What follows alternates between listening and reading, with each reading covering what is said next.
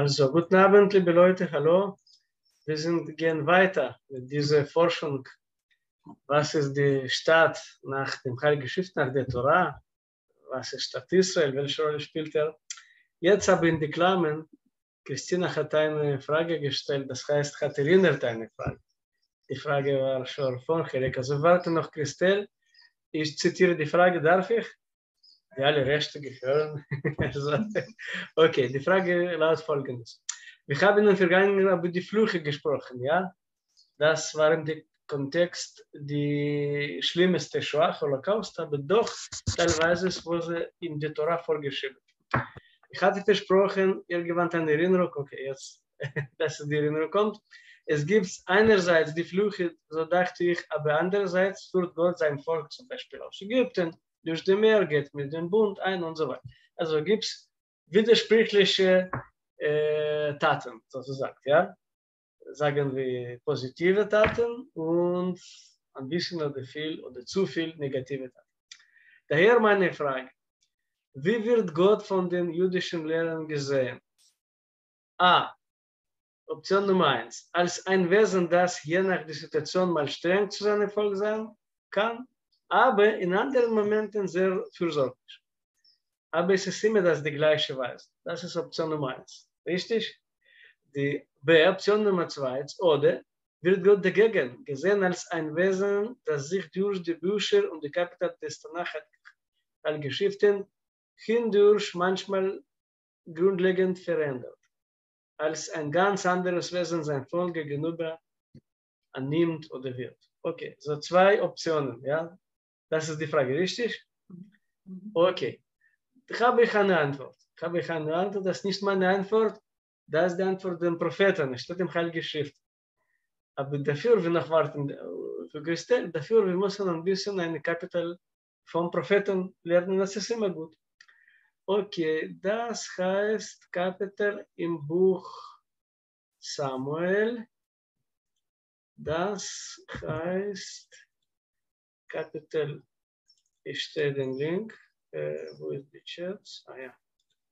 Ja, okay. Haben Sie das Link? Es ist Schmuel, Aleph, erste Buch Schmuel, Kapitel 15. Okay, also können Sie öffnen den Text weil äh, Sie müssen äh, verstehen, dass die Regel, um korrekt die, äh, diese oder andere Zitat vom Tanach verstehen, es war immer meine, Rabbiner hat gesagt, muss man ein bisschen vor und ein bisschen danach lesen. Ja? Nicht nur eine Zitate. Wir lachen uns in Israel, dass die Politiker immer äh, annullieren diese oder andere Aussage, äh, nicht gute Aussage, ah, meine Worte wurden vom Kontext rausgenommen. Kennen Sie solche? es ist alle Politiker, Politiker zugleich in jedem, in jedem Land. Ja? Also, aber tatsächlich manchmal ist es passiert, ja. Das heißt, muss man die ganze Text, die, die ganze Kapitel mindestens hören, reden und dann versteht man, ja. Also, hallo, hallo Christelle, wir sind in einem Vorwort, eine Vorfrage von Christina. Und nämlich, äh, Christine, können Sie erzählen die, die Frage? Was ist die Frage? Ja, als wir diese Texte über die Flüche gelesen haben, habe ich mich gefragt, äh, eben Gott zeigt positive Seiten oder fürsorgliche Seiten seinem Volk gegenüber, aber eben in diesen Flüchen ist er nicht so fürsorglich. Und dann habe ich mich gefragt, ob man im Judentum davon ausgeht, dass Gott ein Wesen hat oder äh, ein Wesen, das mal streng ist und andere Male fürsorglich, oder ob er dagegen Wesensveränderungen hat und ähm, sich komplett sehr stark verändert. In der einen Textstelle so und in der anderen Textstelle praktisch mit einem ganz anderen Wesen auftauchend. Das war meine Frage. Ja, okay. Und die Antwort ist, sage ich, es kommt nicht von meinem Herzen, es ist nicht meine private Meinung, was, habe, was denke ich darüber. Ich zitiere einen Prophet nämlich Prophet, äh, Prophet äh, Samuel, ja, vom Buch Samuel. Also das kann man verstehen, der Prophet hat sein eigenes Buch äh, geschrieben. Okay, also wir sind im Samuel 1, 1 Lateinisch, Kapitel 15. Okay, der Krieg, der Krieg gegen Amalek, Zerführnis mit Samuel. Das natürlich dieser Satz ohne Ziffer, das kennen Sie, was ist das? Das ist eine kurze Anleitung. Es ist ein Kommentar vom Rabbiner, der hat diesen Text ins Deutsch hat übersetzt. Ja? Also es ist nicht, steht dieser Satz in dem Text. Der Text tatsächlich geht vom 1, 2 und so weiter. Ja? Also Kapitel 15, äh, Samuel sprach zu Saul, der Prophet redet zum dem König. Muss man verstehen, dass wir haben uns gesprochen, dass die Propheten es ist eine vierte Macht, ja. Heute das ist die intellektuelle Macht, aber wir befinden vielmal die Paaren. Das heißt, ein König mit einem Prophet, ja. Die gleiche Generation, die gleiche Vorstellungen zum Guten und so weiter. Also das, das ist eine erste berühmte Paare, Prophet Samuel und König Saul. Okay? Erste Paare. Es gibt noch. Also jetzt Prophet befiehlt in Gottes Namen zum Saul. Mich hat der Herr gesandt, dich zum König über sein Volk Israel zu sammeln. Muss man ehrlich so sagen, es wird noch gesprochen, es war eine Überraschung, eine riesige Überraschung. Die Saul wurde der erste König Israels. Warum? Er kommt, er kommt von dem kleinsten Stamm, Benjamin. Das heißt, logischerweise, wir kennen die Zahlen von schon Torah, es ist verändert überhaupt nicht dramatisch. Das heißt, fast nicht verändert. Auch weiter, die Juda war die größte Stamm. Also statistisch, bürokratisch, demokratisch, aus, alles, was sie wollen. Logischerweise, es würde ein König vom Juda kommen. Das echt passiert mit, mit König David, der zweite König. Aber doch, am ersten Linie, das war König von der kleinen Stadt. Also, äh, dich zum König über sein Volk Israel zu salben, so gehorche dem, dem Befehl dem Gott. Also, der, der, äh, der, Herr, der Herr Gott schickt Saul äh, kriegen mit Amalek. Ja? Okay, das ist, die, das ist der Befehl. Okay, sie, sie gehen zu diesem Krieg, aber es war nicht im vollen Sinn dieser Krieg äh, getan, mindestens wie es der Prophet so gesehen. Okay, und das ist im Wurzel, wir sehen bald, das war die Probleme, die Sünde, wenn Sie wollen, vom ersten König Saul. Deswegen er wurde von seinem Königreich Amt rausgenommen, ja, zum Rücktritt geschickt. Okay, damals Rücktritt war ein Synonym zum Tod. Ja, er hat im anderen Krieg getötet worden mit, sein, mit seinen Kindern. Okay, also dann überspringe ich zum kritischen Dialog wo liegt die Antwort für Christina und von uns alle? Wir sind am Stelle 13. Also Samuel zog ihm nach und als er zu Saul kam, sprach äh, Saul zu ihm mit Stolz. Sei gesegnet dem Herrn, ich habe den Befehl des Herrn vollstreckt. Ah? Ich bin gut, ich bin in Ordnung. Ah? Da fragte Schmuel, was bedeutet denn die flockende Schafe? das zu meinen Ohren dringt und das Brüllen der Rinden, das ich höre? Ja, eine rhetorische Frage. Auf Hebräisch ist es noch besser, weil es ist eine, äh, Sie sehen das nicht, es ist eine äh, Wortspiel. Das heißt, auf Hebräisch, der Prophet fragt, was höre ich? Ja? Ich soll das nicht hören. Das heißt, auch die Rinder und die alle anderen Tiere sollten ermorden sein. Erinnern Sie, warum? Haben Sie Ahnung, warum?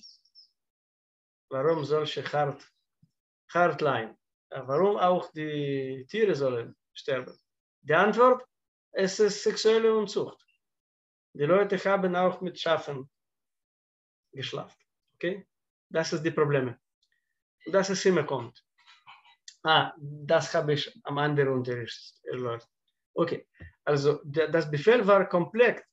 Auch die Schafe, auch die Rinde, alle, weil die Leute hatten ohne Grenze für seine Sündigkeit. Und dann auf Hebräisch, der Prophet fragt, Ma, Ma ist es was auf Hebräisch, ja? Mhm. Was höre ich? Aber gibt es eine schöne Kommentar von Hasidismus, Vorvätern? Ein, eine Rebbe sagte, der Prophet Samuel es, mit, mit Punkten, Nikodot, auf Hebräisch, es steht, normalerweise ist es Ma, MA, das heißt mit A, aber dort steht eine seltene äh, Nikud, seltene Punkte mehr, Segol, also kurze. Das heißt, es ist auch auf Hebräisch, es ist eine schöne alte Hebräisch, mehr, es ist die gleiche Bedeutung, aber die Ton, die, die Phonete klingt, es ist anderes, Ma oder mehr. Und dann dieser Kommentar, dieser Kommentar sagt, die Prophet gesagt, mehr, was höre ich? Verstehen Sie? Das natürlich sehen Sie nicht im Deutschen übersetzt. Aber ich, ich kenne den, den Original. Also, der Prophet sagt, mehr, was höre ich? Hast du den Gottesgefäll erfüllt? Überhaupt nicht. Im Gegenteil, du hast das nicht gemacht. Also, Saul antwortet, er noch spielt auf die Schiene, ich bin in Ordnung. Das haben die Kriegsmänner von den Amalekitern gebracht. Äh, denn das Volk wollte die besten Schaf und Rinden schonen, um Opfer dem Herrn, dein Gott, das übrige haben wir gebannt. Okay, sie spenden das zum Gott. Interessant. Da sprach Schmuel zu Shaul, halt an, dass ich dir verkünde, dass der Herr zu mir geredet diese Nacht. Und so antwortete Rede. Und diese Nacht, er wurde entlassen, großartig von diesem Königtumstuhl. Samuel sprach, wenn du dich für die Gering hältst, das heißt die geringste Stamm in Israel, Volk, ja, bist du doch die Haupt des Stamm Israel, du bist der König. Der Herr hat, hat, hat dich gesagt zum König über Israel, über ganz Israel, nicht über deine Dorf und nicht über deine Clan und nicht über deine Stamm, über die ganze Israel. Ja? Also wie gesagt, das ist eine riesige Überraschung. Eine Underdog plötzlich eine Gewinner geworden. Ja? Das ist echt, was ist passiert. Und nun hat dich der Herr gesandt auf dem Weg und gesprochen, geh und banne die Sünde. Die Amalekiter, die haben sogar mit äh, Tiere geschlafen. Haben. Den Amalek und bekriegte äh, und, und bekriege sie bis zu ihrer Vernichtung. Vernichtung ja? Okay. Warum hast du denn nicht gehört den Befehl dem Gott und bist hergefallen über die Beute? und hast die Böse getan wegen dem Herrn. Okay, der Shaul wieder verteidigt sich. Satz, Vers 21, aber, aber das Volk nahm von der Beute Schafe und Rinder das erste der Bahn Gutes zu opfern dem Herrn, deine Gotte in Gilgal. Gilgal ist ein Platz. Darauf sprach Samuel, hat der Herr, Herr verlangen, nach Schlachtopfern wie nach Gehorsam gegen den Befehl des Herrn? Rhetorische Frage. Mhm. Okay. Gehorsam ist besser dem Opfer. Acht haben mehr als Fett der Wieder. Es ist ein sehr, sehr grundsätzlicher Punkt. Ja? Das heißt, die Juden haben viel, viele Zeiten, sagen wir hunderte Jahre, bis Ende des ersten Tempels. Sie haben äh, die Opferdienst, den Tempeldienst, jetzt ist es noch ohne Tempel, für einige gute hundert Jahre vor Tempel, erster Tempel, den nur Salomo wird angebaut. Die Juden ha, ha, haben solche Vorstellungen, es ist natürlich falsch, dass egal was wir machen, was wir tun, die Opfer und dann ist es alles erledigt. Also die Gott ist quasi wie eine normale Götzendienst, wie, wie mhm. Zeus beim Griechen, ja, diese die andere äh, äh, Religions im Osten, ja, muss man ein Opfer bringen. Und dann ist es alles gut. Bis heute die Leute im Buddhismus unterschiedliche äh, Religionen, aber doch, die Leute bringen Essen zum Gott. Kennen Sie? Mhm. Eine Tafel, ja, mit diesem dann der Essen. Natürlich symbolisch, aber wozu braucht es echte Gott dem Essen? Ja? Also das ist die Idee, äh, diese und andere sind geglichen, ja, erledigen, erledigt, alles, alles, alles in Ordnung, ja, okay. Und dann am Vers 24 soll endlich akzeptiert seine Sünde. Saul sprach zum Samuel, ich habe gesündigt, dass ich übertrete den Befehl dem Herrn. Oh, das ist die Kerngeschichte und deine Worte. Also es ist unterschiedliche Sünden. Befehl des Herrn und Prophetenwort. Weil ich das Volk gefürchtet und auf seine Stimme hört. Jetzt verstehen Sie die, grob die Probleme? Mhm. Der König, der soll Erster sein, die Leute erhoben, geistlich mindestens. Er geht nach dem Volk, ja, also tief, nicht nach oben, nach unten, geistlich, ja. Die Volk wollte die Schafe, die Rinde, die gute Dinge, er ist am Verstand. Er hat Angst vor dem Volk. Und nun vergib doch meine Sünde, kehre zurück mit mir, dass ich mich bücke von dem Herrn. Und jetzt ist die Antwort kommt, die Antwort kommt. 26, aber Samuel sprach zu Saul, ich kehre nicht zurück mit dir, denn du hast das Wort des Herrn verschämt, verschmäht, und nun hat der Herr dich versch verschmäht, dass du nicht König seist über Israel. Samuel wandte sich darauf zu gehen, da fasste Saul die Zipfel seines Oberkleides, dass dass es zerriss. Da sprach Samuel zu ihm, er nimmt das zum gute Gelegenheit. So hat heute weggerissen der Herr, der Königtum Israel von dir. Er hat es gegen deinen Genossen, der besser ist denn du. Es geht um David, zukünftige König Israel. Der mächtige Israel wird nicht lügen und sind nicht be bedenken, denn er ist kein Mensch, sich zu bedenken. Jetzt ist die Antwort. Oder? Mhm. Verstehen Sie? Das heißt, die Gott verändert sich nicht. Also, der, es ist, wie das ist nicht meine Meinung nach, es ist nach die Saul, die Prophet-Meinung, ich nur zitiere. Das heißt, in ihrer äh, Frage, die richtige Antwort ist Option Nummer eins. Die Gott ist dieselbe Gott. Das heißt, das heißt, die Gott ist wie eine, eine Papa oder eine, eine Mutter.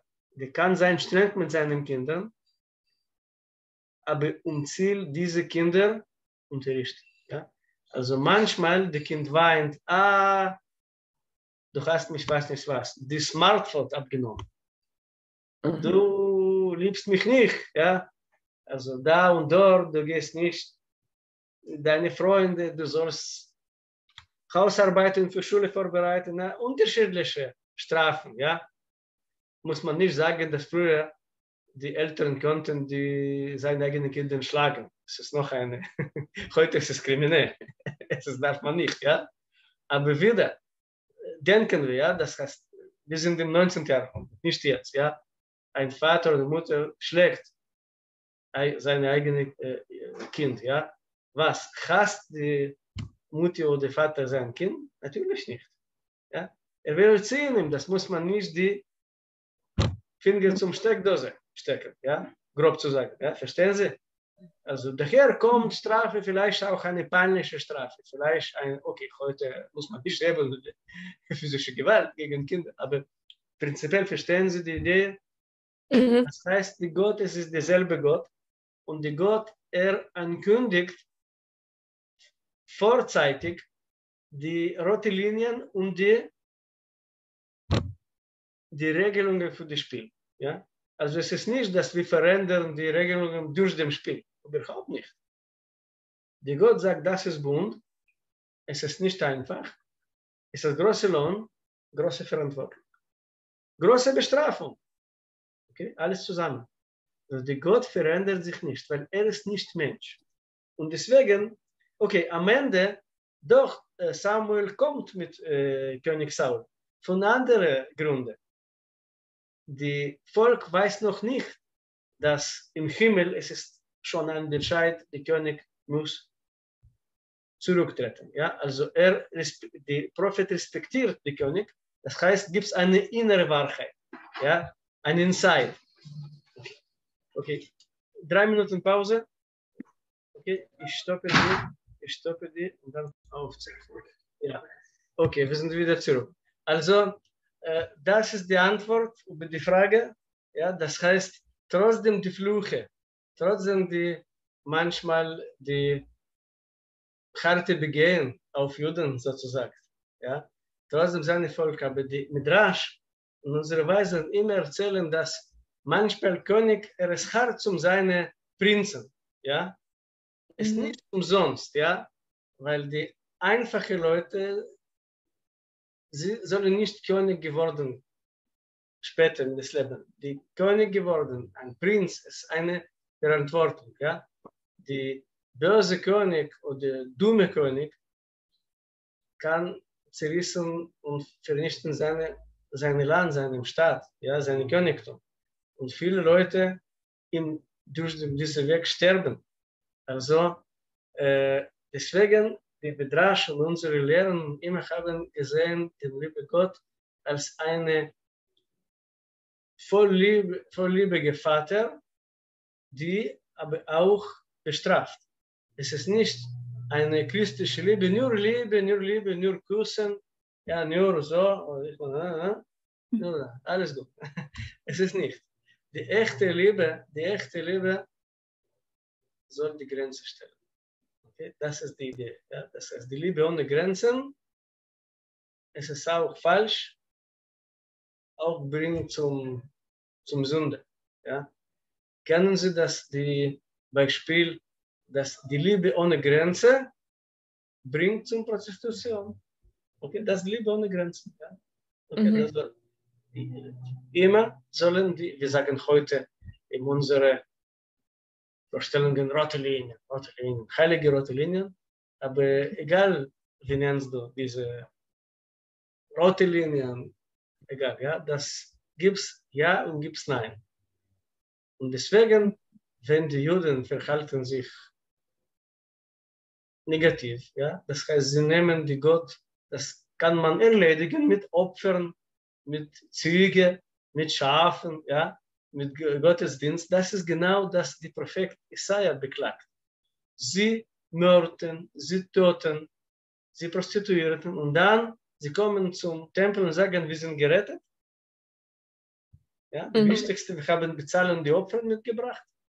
Alles, was war einige Stunden vor, es ist, zählt nicht sich. Ja, es ist annulliert. Natürlich nein. Mhm.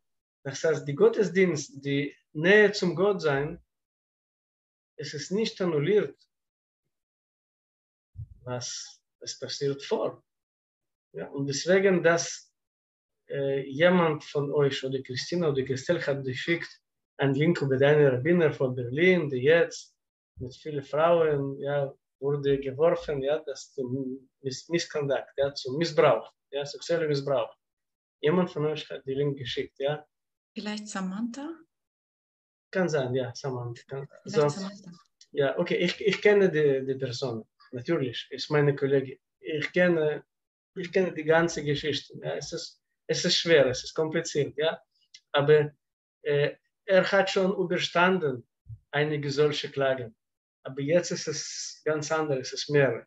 Ich will ihn nicht verteidigen, nicht verschuldigen. Ja? Ich nur sage, dass die gleiche Idee, das ist, was du ein Rabbiner ist, es nicht annulliert deine eigene andere Tat. Okay, das ist die gleiche Idee, ja? Dass mhm. du fühlst sich wie Heilige von anderen. Es kann sein ja, kann sein nicht, ja? Mhm. Aber in jedem Fall, du darfst nicht wie ein Verbrechen verhalten, ja? In jedem mhm. Fall, ja? Klar. Egal, bist du Jude, bist du nicht Jude, bist du Rabbiner, bist du Priester, es ist völlig egal, ja? Und deswegen, äh, im jüdische äh, Justiz, ich meine die halachische, ja, das rein äh, nach Torah-Regelungen Justiz. Es gibt auch einen Artikel auf Englisch, die ein amerikanische, ja, er sagt den Namen von Rabbiner, alle Taten, nicht wie Deutsch, politically correct, der Rabbiner. Dort steht Name, sein Bild, alles was wollen. Ja, okay, ich kenne den Namen, ich kenne den Bild, das ist kein Geheimnis. Aber dort jemand äh, von Yeshiva University New York, ein Rabbiner, sagt äh, völlig recht, dass für uns, für die jüdische halachische Justiz, ist es egal, ob die Opfer sind über 18 Jahre alt oder unter. Es ist für uns völlig egal. Es ist die, die rote Linien sind gleich. Ja, für jede menschliche äh, Würde. Ja, es ist egal, Minderjährige, Überminderjährige, es ist völlig egal. Es ist, spielt für uns keine Rolle. Ja, es ist nicht so im heutzutage kriminelle Gesetz in manchen Ländern. Ja. Also es ist 18, 16, 15, unterschiedliche Zahlen von uns. Es ist oder ja oder nein. Natürlich ist es nein, darf man nicht so verhalten, das ist klar. Ja? Also ich bin kein Advokat, kein Anwalt von dieser Rabbiner. Die, die Dinge sollen erklären sich. Also äh, es ist tut weh für uns. Es ist eine Schatten, dass äh, wir müssen das nicht äh, akzeptieren. Ja?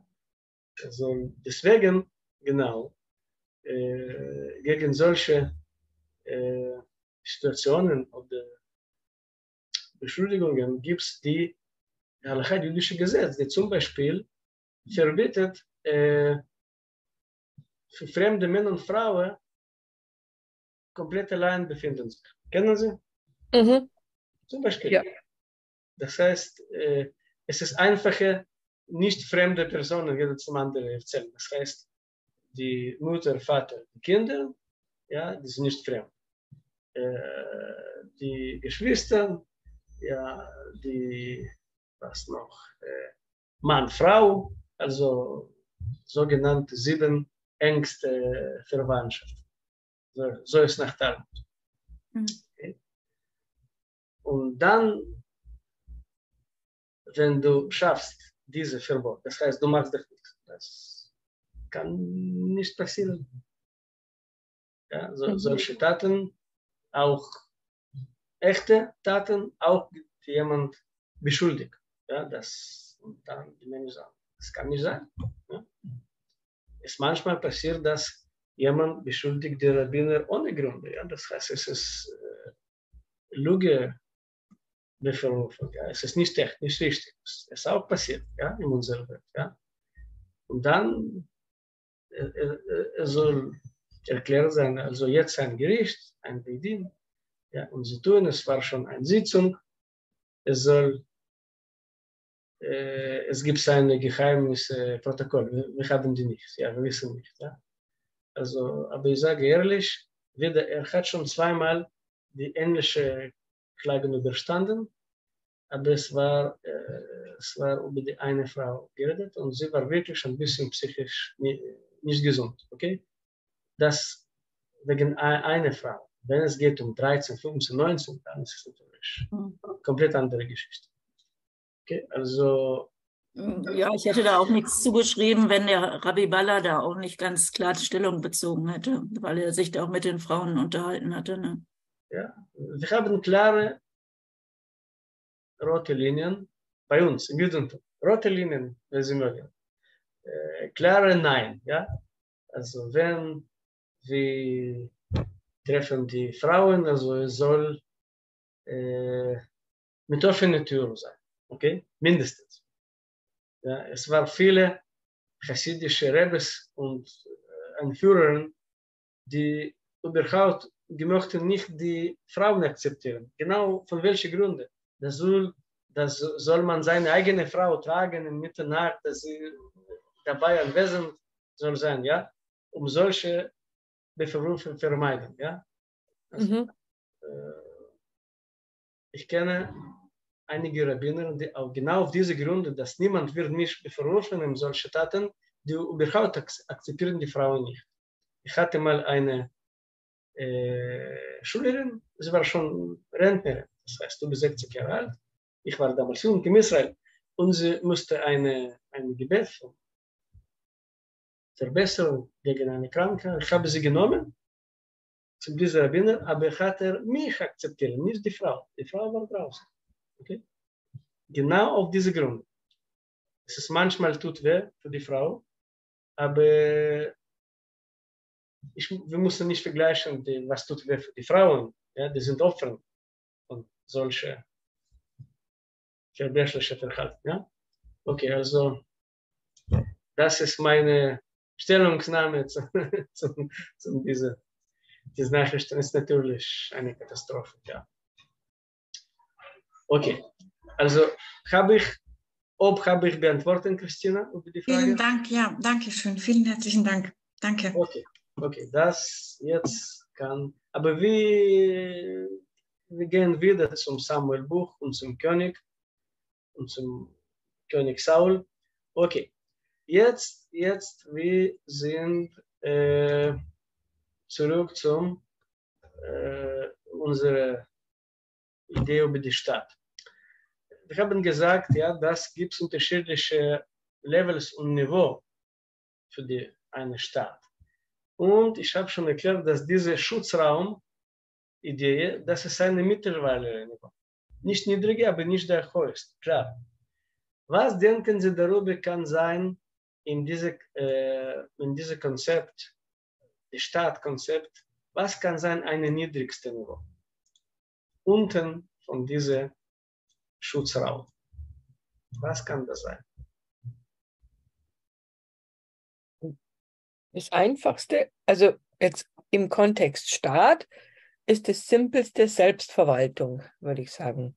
Das heißt Kommunen. Ja, also kommunale, einfach, kommun, kommunale Niveau. Ja, halt, dass halt die Leute, die dort leben, selber bestimmen, wie sie leben wollen.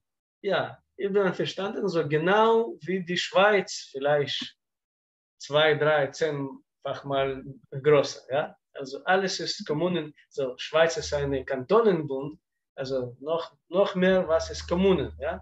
Kommunen ist mhm. die größte, die die größte systematische strukturelle Dinge, die existiert ja, in dieses Bild. Das heißt, äh, philosophisch-politisch, diese Staat geht nach den Ideen von Anarchismus. Kennen Sie diesen Begriff, Anarchismus? Okay, mhm. wir reden ein bisschen. Anarchismus auch ist eine sehr, sehr beschimpfte Definition und äh, die Leute leider denken, Anarchismus heißt diese, es gleich zum Chaos. Ja? Die Anarchisten sind die Chaoten, dass die haben die Mitte Hamburg zerstören am G20-Gipfel, ja, zum Beispiel, dass die Leute denken. Okay, es ist nicht, es ist nicht. Das heißt, Anarchismus es ist eine sehr, sehr interessante staatlich-philosophische äh, Bildfeld sozusagen, ja, eine Ideologie.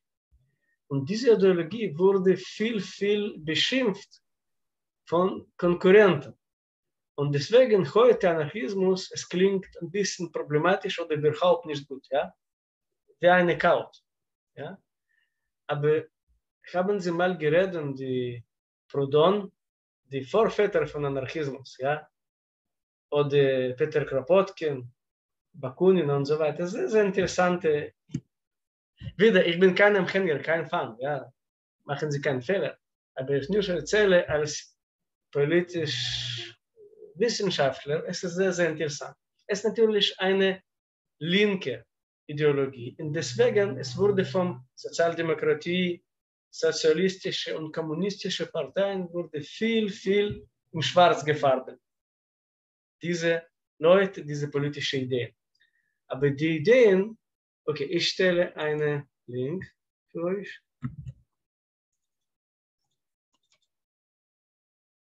Im Chat, ja. Okay, also das ist der Anarchismus. Und wenn wir lesen, in dem Mittelpunkt stehen Freiheit, Selbstbestimmung, Gleichberechtigung, Selbstverwirklichung und die individuellen Kollektive selbst verwalten. Okay? Hm? Also Anarchismus ist es nicht keine Regierung, überhaupt nicht. Anarchismus ist es Selbstverwaltung, kollektive Selbstverwaltung. Das heißt, diese Kommune stattdessen Staat. Also natürlich, die Anarchisten glaubten groß, grob zu sagen, nicht in dem Staat. Ja? Dass der Staat ist unterdrückt. Ja? Und bis heute, wir haben die im USA und auch in Europa ein bisschen äh, Libertarianer. Kennen Sie die, den Begriff? Ja, mhm. also das ist die Partei, die hat die Brexit geführt. Liberal Democrats. Ja? Also in, in, in Amerika, sie heißen sich Libertarianer.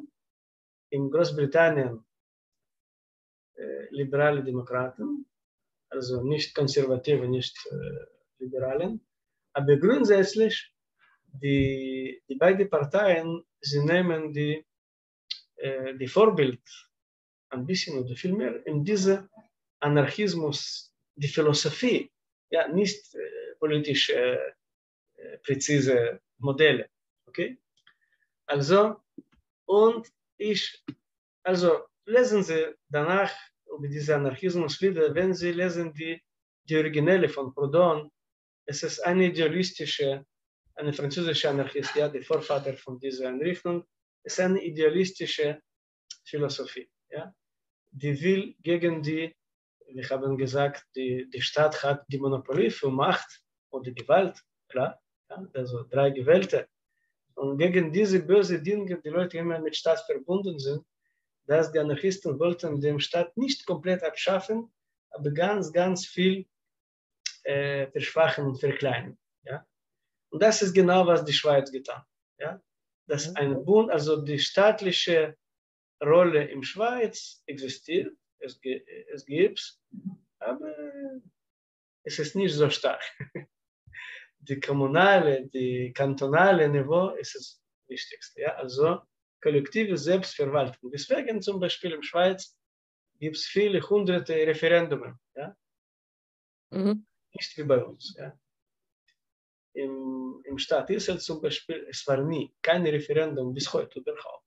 Und natürlich gibt es viele, viele Fragen, die dort sagen, es soll auf allgemeine Referendum die Frage aufstellen. Nein, weil es, es geht nach anderen politischen Modellen. Ja? parlamentarische Modell. Ja? Deutschland, Israel und so weiter. Okay, also sie wurden sehr, sehr überrascht, aber dass dieses an anarchistische Modell hatte viel, viel Wurzeln im jüdischen Volk. Und das befinden wir viel, viel Erinnerungen im, in der Heilige Schrift. Okay? Mhm. Und ich erzähle euch. Okay? Also äh, gibt es eine Vision, gibt es eine Vision im Propheten, die wir sind ein bisschen forschen heute. Also ich bringe einige, einige Zitaten. Also die erste, es geht nach dem Königebuch. Moment.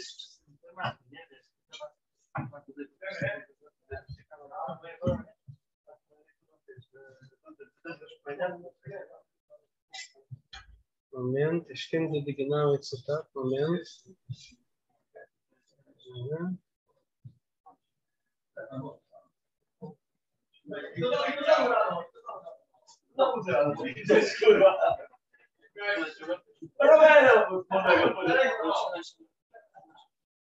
Könige, zweite Königebuch.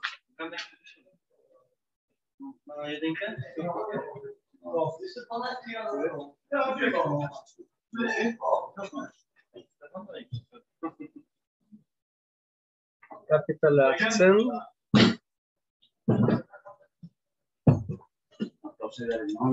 Nie w tym tygodniu. Kapitel mamy tylko komentarza o, o pierwszy dzień. Satz 31. O, tak to nie mają. Tak, Jetzt stelle ich die, die volle Zitat. Okay. Okay, es geht um einen Krieg. Der geht über Jerusalem. Jerusalem ist Überland, ja, dem Stadt. Und dann die, äh, die Assyrien sie anrufen zum Rebellion. Ja, und hört nicht auf Hiskia, Hiskia, die König Hiskia. Denn so spricht dem König von Assyrien. Es ist ein Krieg Juda mit, gegen Assyrien. Ergebt euch mir und kommt heraus zu mir, dass jeder von seinem Weinstock und von seinem Feigbaum esse und lediglich das Wasser sein Grube trinke. Nur was sagen Sie um diese Vision? Ja, anarchistisch. Verstehen Sie? Also das ist im hebräischen Worte und diese Phrase es steht sechs oder acht Mal in unterschiedlichen Propheten. Das heißt, es ist weitgehende Ideal. Also es heißt, jeder von, äh, ich hebräisch ist unten, von seinem Weinstock und von seinem Feigenbaum esse und jegliche das Wasser seiner Grube trinkt. Was es passiert mit anderen Leuten, es interessiert mich kaum. Interessiert vielleicht. Ein bisschen am Radio hören, ein bisschen am Zeitung mal in die Woche lesen. Genau wie die Dinge im Myanmar oder Chile oder New Zealand interessieren mich auf gleichem Niveau. Verstehen Sie? Das ist genau, also wieder, der Anarchismus ist nicht kaut. Es ist, es ist nicht, es ist kein Kaut. Ja? Es ist einfach eine ganz, ganz geringe äh, Rolle der Staat, die Hm. möglicherweise vermischen sich in tatsächliches Leben. Ja? Und dann, das heißt, der Staat, was macht der Staat? Okay, es gibt unterschiedliche Modelle. In Anarchismus, ja, gibt es kommunistischen Anarchismus und so weiter und so fort. Aber prinzipiell jetzt, dass dieses Bild, ja, jeder unter seinem Weinstock und unter seinem Feigenbaum lebt. Friedlich. Ja? Die Frage ist, wer verteidigt diese Idylle? Was sagen Sie darüber? Wer finanziert diese, diese Bild? Natürlich in diese, in diese Bild, ja, also keine, weiß nicht was, äh, keine große Monopolie wie heute befinden sich, ja. Es gibt einen Markt, es gibt ein Land, natürlich, es passt zum Landwirtschaft. Nicht umsonst, die großen Anhänger von Anarchismus wurden immer Landwirtschaftler, ja. Mhm. Es war weniger akzeptabel in dem Stadt. Ja, das heißt, die Stadt, es ist andere Leute mit anderes Tempo, Lebenstempo, ja, und mit anderes Lebensgefühl. Aber jemand, der lebt von der Erde, von Landwirtschaft, ja, das, diese Ideal ist perfekt, oder? Mhm. Sie sind verstanden? Also, dass die, der Aggressor, der Okkupant damals, die Assyrien, Mhm. haben schon die ganze Juda okkupieren und zum eigenen Händen vorgenommen. Nur Jerusalem äh, noch hat nicht gefallen ist, ja. Und dann sie machen eine Propaganda, ja. sie reden auf Hebräisch. Das, das heißt, die, äh, es, die Bild, das Bild ist folgendes. Die Stadt ist überlegt, es, es ist Hunger, Hunger drin, ja, muss man verstehen, es ist Hunger. Sie, die Juden haben kaum äh, Pferde, sie wurden schon gegessen, die Pferde. Muss Mhm. man nicht sagen, dass es nicht koscher. Ist Ja. nicht gut schon. Ri- Richtig nicht. Aber ist schon egal. Wenn es ist Hunger ist, ja, das soll man sein eigenes Leben retten. Ja. Gibt es nur ein oder vier äh, Pferde, das, da- die eine natürlich, die gehören zum äh, die König, ja, seine eigene Wagen, ja, die letzte, die noch nicht gegessene Pferde, ja. Und dann, und dann, dass die Leute von assyrischer Seite reden laut, okay, es war keine Mikrofone da, damals, ja, keine Verstärker, Stimme, sie reden nach dem Jerusalem auf Hebräisch. Und dann die Juden, die Mitarbeiter, die Ministerien von König Hiskiau, sie sagen, reden Sie bitte Aramäisch, reden Sie nicht Hebräisch. Das heißt, verkleiden diesen Effekt von brutale Propaganda. Ja? Das ist die Probe. Und dann, dass äh, die Assyrien, es, dort waren auch Juden, die wurden von der syrischen Seite ge, gekriegt gegen Juden. Ja? Sie sagen, sprich der König von Assyrien in seinen Namen. Ja? Wir bringen Garantien. Ja? Er gibt mi, euch mich. Ja? Stoppen Sie den Krieg. Ja? Dass jeder von unter Weinstock und seinem Feigenbaum essen jegliche das Wasser seine Grube trinkt. Ja? Perfekt. Okay. Äh, ich will noch weiter die gleichen Zitaten vom, von, dieser, von dieser Idee euch zeigen. Dann aber das war ja zu einer Zeit, wo der Hiskia ja von Gott auch anerkannt war, ne? Ja, ja, ja, natürlich, natürlich. Die Gott hat die große Wunder dort äh, geschafft. Ja, und dort auf einem Nacht rausgekommen Engel des Gott und hat 180.000 Assyrien ermordet, ja, mit Schwert. Mhm. Also das war einzigartige, einmalige Wunder. Auch diese Wunder, die unsere libyschen Juden die wollen nicht im israelischen Militär dienen, sie begründen seine Position. Ja? Wenn wir sind, wären so gut wie damals, auch dann kommt Gott, schickt die Engel und wir brauchen keine Militär. Echt? Ich habe äh, diese Bücher gelesen. Mhm. Ja, dass wir sagen, wir vertrauen nicht zum Wunder. Die Talmud verbietet zum Wunder Vertrauen. Kennen Sie das? Die, die Idee, ja? Mhm. Talmud sagt, wenn jemand steht auf dem Berg und sagt, ich springe runter, ja, und die Gott wird mich retten, ja, das ist ein Verbot. Das ist ein tolles Verbot. Um diese Denkerlinie und tatsächlich so tun. Weil die Gott wird mhm. retten nicht. Okay? Und dann die, die Konsequenz, äh, die Talmud erzählt, dass wir müssen uns nicht auf den Wunder vertrauen und anplanen, mindestens. Ja? Wir hoffen zum solchen Dingen, aber wir haben keine Garantie. Wir wissen nicht genau, wie weit, wie oft, überhaupt, ob solche Wunder passieren mit uns. Kennen Sie die Idee? Ja. Also als solche Idee, dass wenn wir werden gut wie damals und dann wir gehen nicht zum Militär, das ist genau auf die Wunder vertrauen. Mhm. Und deswegen, wir gehen zum Militär. Wir gehen zum Militär. wir müssen die ehrlichen Wege erfüllen, ja? nicht himmlische Wege. Wir sagen, wir wissen die himmlischen Wege nicht präzise. Mhm. Probieren Sie lernen. Und wir haben keine Garantie. Okay, also gibt es die, die gleiche Zitat auch im Buch Isaiah, auch wieder die, die, die, die gleiche Geschichte. Ja? Das heißt, in diesem Krieg mit äh, Assyrien. Ja?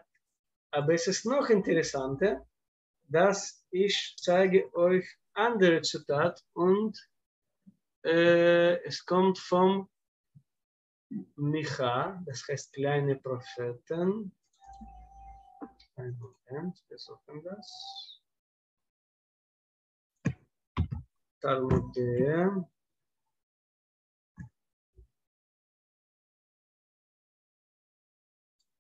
Jetzt eine Sekunde.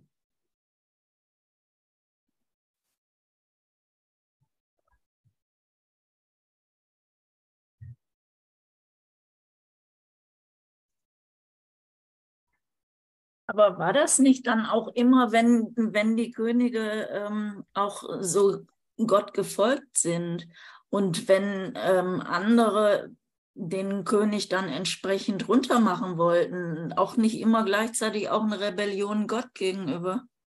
Ja, Sie haben recht. Okay, ich habe gefunden den Zitat und das heißt Micha 4,4, also vierte Kapitel, vierter Satz. Die Micha, der Prophet, redet über die Ende des Tages. Das heißt, die, die dritte Stempelepoche, sogar später. Also nach messianischen Zeiten, sogar nach messianischen Zeiten. Und dann, jeder wird unter seinem Weinstock, das habe ich gesagt, die Zitat ist unten, unter seinem Weinstock und unter seinem Feigenbaum sitzen, von niemandem gestört, denn der Herr Zwaot hat dies verhießen.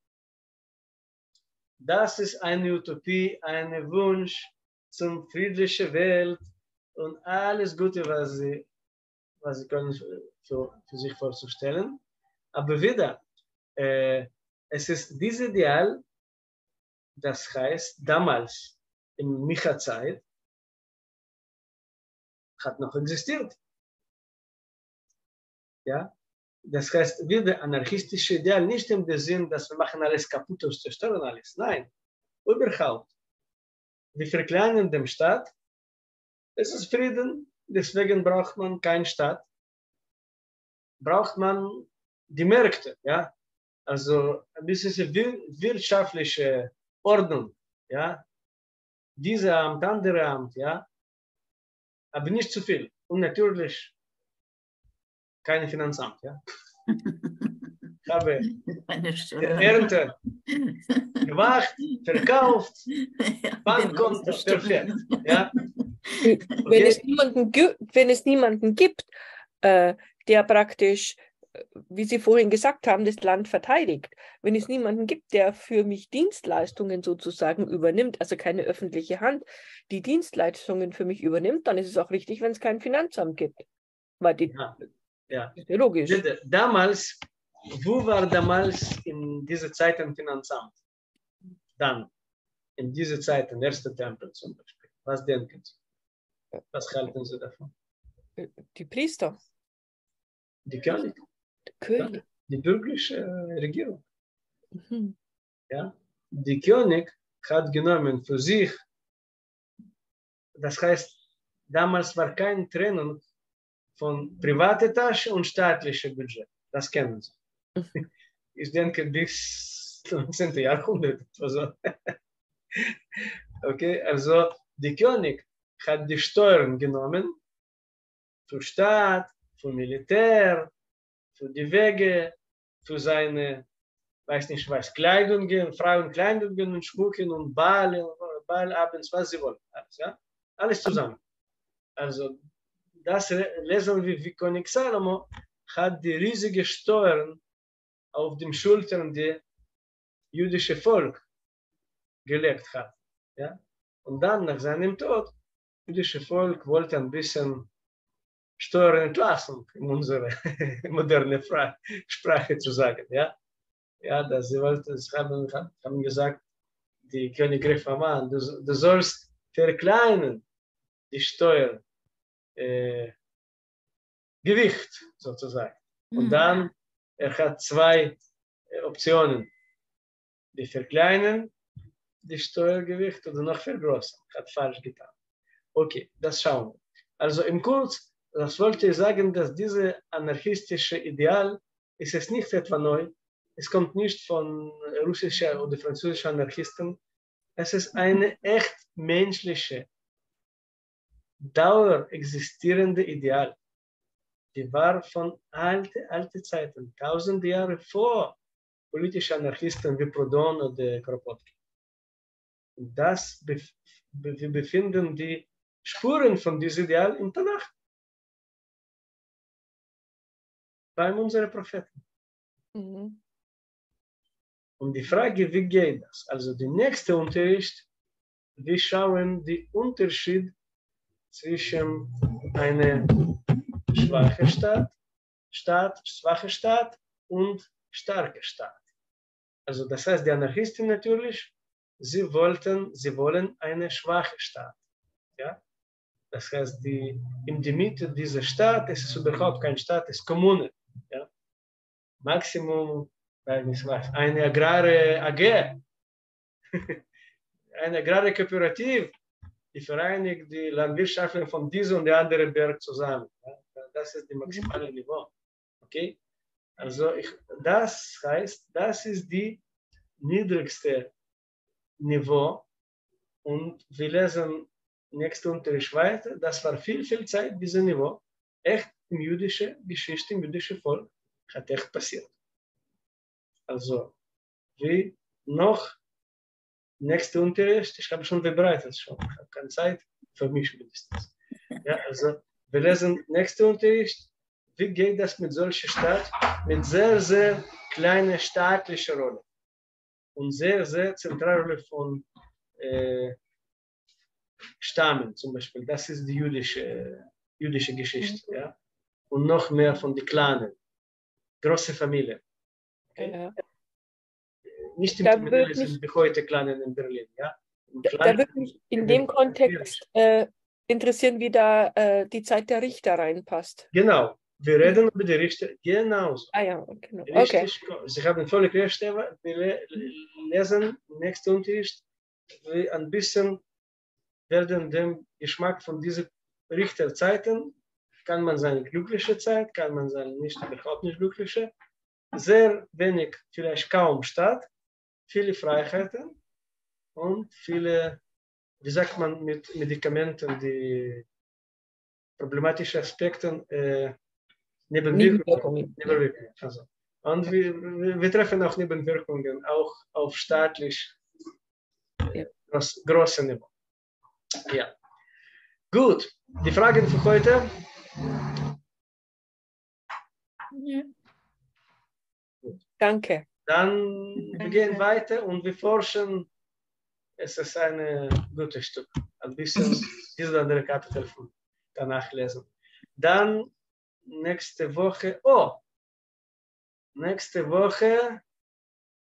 Ich muss in Transkarpatien sein. In was? In Transkarpatien muss nach Ukraine fahren. Also ich muss unsere, muss unsere noch in Transkarpatien besuchen.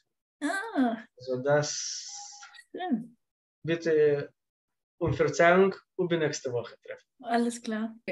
Ja, es Eine muss, gute war Zeit. schon von Anfang der Krieg, war, war nicht da, jetzt ist die Zeit.